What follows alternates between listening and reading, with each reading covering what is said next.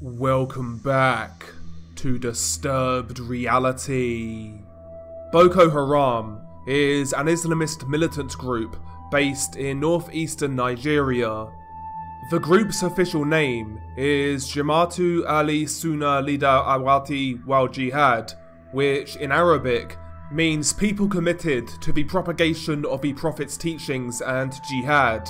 However, it is more commonly referred to as Boko Haram, a nickname given by locals which roughly translates to Western education is forbidden in the local Hausa language. Boko Haram was founded in the early 2000s by a Nigerian cleric named Muhammad Yusuf.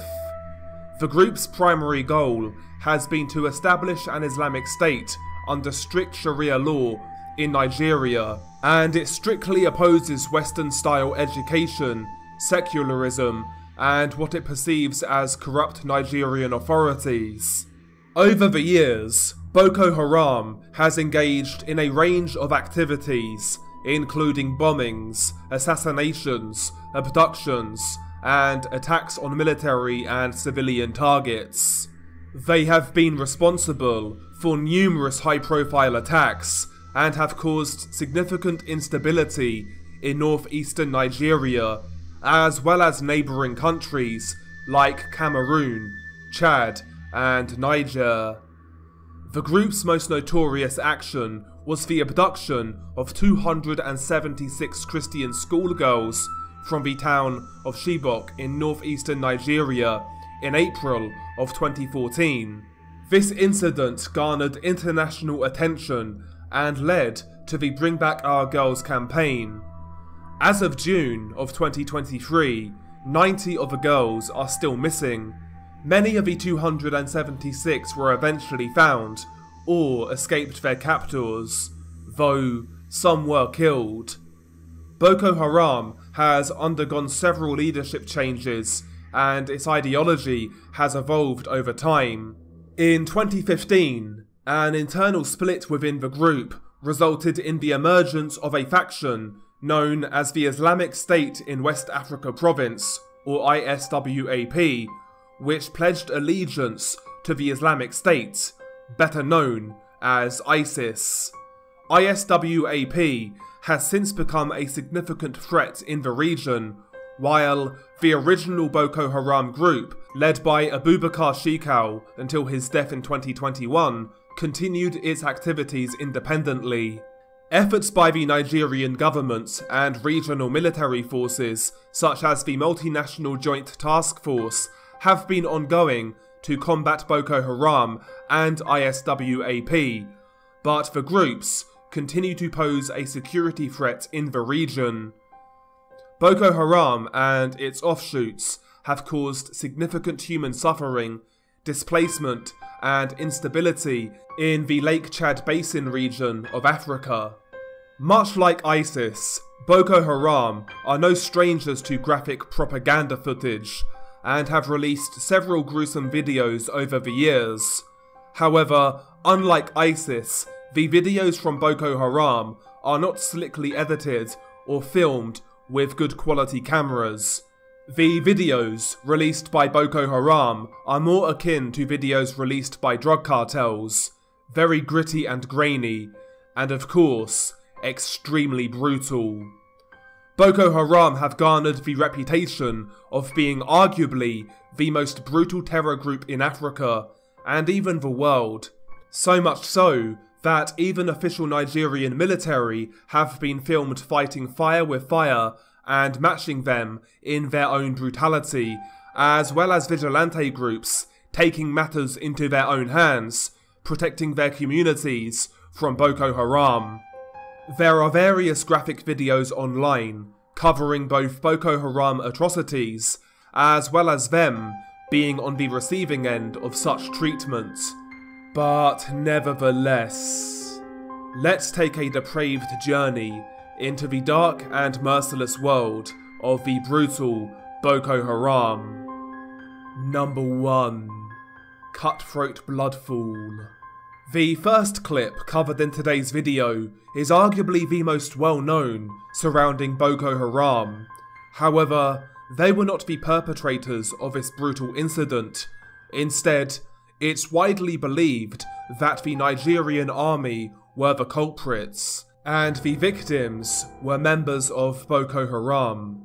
The video leaked online in August of 2014, and it drew widespread condemnation from various humanitarian groups worldwide, including Amnesty International. In fact, it was Amnesty International who obtained the video and exposed it to the world. According to Amnesty, they stated that sources, including members of the Nigerian military, confirmed that the perpetrators were indeed military personnel. The condemnation of the alleged war crime put pressure on the Nigerian military to investigate the incident, which they claim that they did. However, nothing seems to have come from the investigation. Amnesty International would go on to claim that the Nigerian military had been committing similar acts from as early as 2009 when Boko Haram waged war in the region. They cite various witness testimonies of extrajudicial executions, torture sessions, including the pulling of teeth, burning, electrocution, and even SA.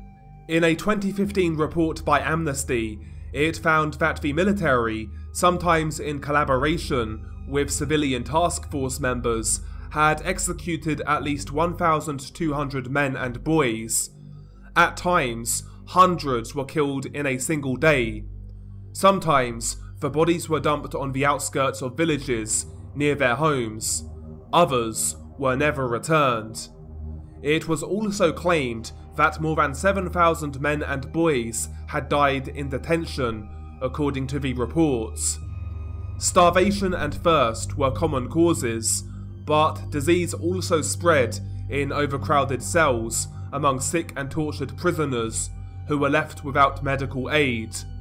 The military were also alleged to have sprayed fumigation chemicals into the unventilated cells, the deaths of said prisoners were rarely recorded or investigated.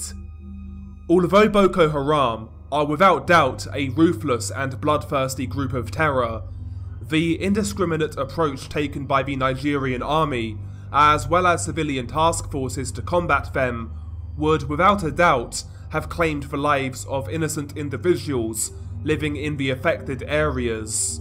As mentioned, the video of the mass execution was released in August of 2014, but is widely believed to have taken place in March of that year, shortly after Boko Haram's attack on a detention centre in the Giwa barracks in the northeastern city of Maiduguri.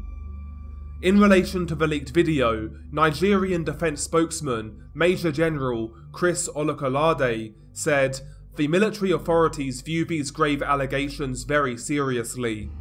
Much as the scenes depicted in this video are alien to our operations and doctrines, it has to be investigated to ensure that such practices have not crept surreptitiously into the system. He added that such behaviour would be counter to the training Nigerian troops are given. That level of barbarism and impunity has no place in the Nigerian military. Respect for the sanctity of life is always boldly emphasized in our doctrinal training, he said.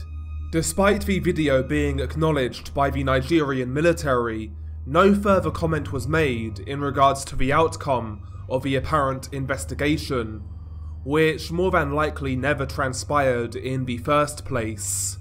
In relation to the video itself, it reminds me somewhat of the infamous Dagestan massacre video. The cold, calculated, ruthless, and efficient approach of the executioners is strikingly similar. If I could describe the video in a couple of words, it would be systematic brutality. It is possible that a longer version of the video exists, as reading articles about the case, it shows images that are not in the copy of the video that I obtained. Some images appear to show the captives digging a large hole, which would act as their final resting place. Upon searching and asking around, I could find no links to a possible longer version. The video itself is 2 minutes and 14 seconds, and immediately as you play the video, you are met with sheer brutality. You see four armed men, two of which are wearing army type fatigues, while the other two are wearing civilian clothing. The men are armed with bladed weapons, mainly knives of varying sizes. You see three other men holding down a suspected Boko Haram member who is laying on the ground next to a deep grave, big enough for multiple people. The fourth man slits the victim's throat as the others hold him down. The victim is right on the edge of a crudely dug grave, and you see blood run down into the grave, creating the effect of a waterfall. The victim has his throat sliced open as the soldiers can be heard chanting. One states, let's go, let's go, let's go, in a frantic manner. The man who's had his throat slit is then kicked into the grave, causing a thud as he hits the bottom. You hear the sounds of heavy strained breathing, but it sounds like it's coming from more than one victim. It's a bad descriptor, but if you've seen a Halloween movie, it sounds like the breathing sound Michael Myers makes through his mask. It's very disconcerting. The camera then pans down into the grave, and it shows two people laying in it, bleeding out. The other man had his throat slashed off camera. Both men are still alive, as they fight to cling on to life. Another man is then called for his execution, it's worth noting that there are a bunch of men in the background sitting down captive, waiting for their turn to be snuffed out from this plane of existence.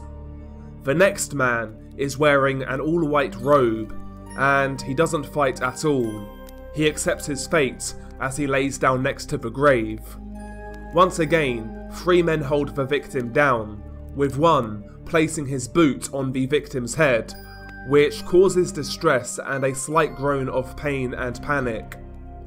Another man then enters shot, and the executioner of the previous victim hands the knife over to the new killer. One of the soldiers shouts, Gentlemen, we'll be going one after the other, as he looks back at the other captives. It appears as if he wants to get a move on. Bear in mind, there appears to be at least 10 men in the background. The new killer then starts to slash the victim's throat. He only does it for a few seconds before he hands responsibility back to the original killer, who then completes the job. Blood once again leaks down into the grave like a waterfall. After the victim's throat is slashed, once again, he is then pushed down into the grave, which now contains three people. The camera then pans down again, and it appears that the two other men in the grave are now dead, Another man is then called to meet his demise, this time a shirtless man wearing jeans. At this point, the side of the grave is completely stained in blood. He lays down next to his eventual resting place, once again with no fight. You still hear the sounds of laboured breathing from the previous victim. After a few seconds of deliberation and talking amongst themselves, the executioner slits the victim's throat with a knife before the video eventually ends. The video, as I mentioned earlier, can only be described as systematic brutality, and it perfectly highlights the brutality and reality of war. It's worth noting, other sources state that the perpetrators may have also included members of a civilian task force. Regardless, the video is very brutal, and the efficient manner of the executions is more akin to that of a slaughterhouse, more so than man killing man. Number 2 One by One The next video was once again released in and around December of 2014. This time, the horrific crime being perpetrated by Boko Haram the video is a longer one at 4 minutes and 54 seconds in length, and the footage appears to have been obtained by a company called 15 Past 8 Media Group. It is possible that the video stems from the Damasak massacre which occurred on the 24th of November 2014 when Boko Haram invaded and captured the city of Damasak in Nigeria, essentially in retaliation for civilians joining self-defense groups. The inhabitants of the city fled the advancing Boko Haram jihadists. About 3,000 civilians left the city and fled to neighbouring Niger. They crossed the Yobe River, bordering the two countries on a boat, though many civilians died attempting to swim across the river. Boko Haram started hunting people down fleeing the city and killing them, and by the end of the attack, an estimated 50 people had been killed, though the real number may have been closer to 100 victims. As you play the video, you are met with the sight of multiple victims who have had their hands tied behind their back being unloaded from what appears to be a truck trailer. Each man is pulled out of the trailer and then thrown onto the ground. The first 50 seconds or so of the video shows the men being unloaded, and there has to be around 15 men. They were unloaded onto a bridge, crossing a river which would become the execution site. The video then jump cuts, and it shows a Boko Haram member holding one of the victims by the feet as he dangles off the side of a bridge. There is already pools of blood on the bridge from previous executions. As the victim is being held, another Boko Haram member, who appears to be carrying an AK-47, then shoots the victim, before the other man then lets go and lets the victim fall off a bridge into the river below. This process is repeated over and over and over again, victim after victim. At around 2 minutes or so into the video, the person filming then takes a second to look over the bridge and he pans to the river. You don't see the victims' bodies, but you see that the river now is stained with streaks of blood. By the end of the clip, I'd estimate that around 15 men were executed. In one instance, one of the victim's skulls was completely blown apart, and you see brain matter leak from his cranium before he is thrown in the river.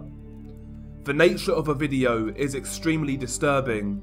Much like the previous video, the systematic nature of the clip is hard to get my head around. Unfortunately, I can find next to no official context surrounding the video. Number 3 Hand Chop. The title of the video is relatively straightforward, but nonetheless brutal. The video, from what I gather, seemed to have made its way online in December of 2014, and much like the previous video, the footage appears to have been obtained by the company called 15 Past 8 Media Group. In fact, all three clips have stemmed from 2014, which was one of Boko Haram's most brutal years, if not the most brutal. The video itself is 1 minute and 49 seconds, and having looked at it, it actually appears to be some kind of mob justice incident perpetrated by Boko Haram. As you play the video, you are met with shaky cam type footage, and you hear a ruckus in the background, with people chanting and shouting. Arabic music has also been dubbed over the video. Initially, it's hard to make out what is going on, but you see Boko Haram members holding a man's hand down against the ground, and then another takes a knife and starts cutting the man's hand at the wrist. It also appears that a tourniquet has been applied to the man's arm to stem the bleeding, which further points that this is a punishment video more so than executions. As the blade slices through skin and flesh, you see the whites of the victim's wrist bones and after a few seconds, the victim's hand is completely removed to the cheers of Boko Haram members. The hand is discarded and left on the ground.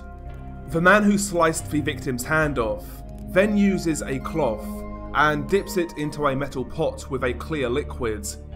He then applies the cloth to the victim's stump.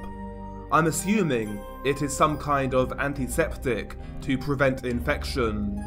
The video then jump cuts, showing a man being held hostage by armed Boko Haram fighters. One of the terrorists reads out a brief statement before the video jump cuts once again. The victim receives the same treatment as the first. This time, multiple men pull his arm so that it is outstretched, and once again, he is cut at the wrist with a knife. The process doesn't take long at all, a matter of seconds. The man's hand is then cut off, and there seems to be more blood than the first victim. You see it drip and stain the dirt ground. The men cheer as the dismembered hand is then raised up in the air. Once again, a man dips cloth into the clear liquid and he applies it to the victim's stump. However, this causes the victim to scream as he tries to pull his arm back as it is being applied. It's hard to find any backstory, but possibly this is punishment for theft. It certainly seems that way. The instigators seemed keen on keeping the victims alive and treating their wounds after the brutality had been carried out. Without doubt, Boko Haram are one of the most brutal terrorist groups in existence today. Many of you have requested this video, though, quite frankly, it wasn't an easy one to do due to the lack of backstory behind various clips. There are other videos I could have covered, but finding the information behind them is certainly difficult.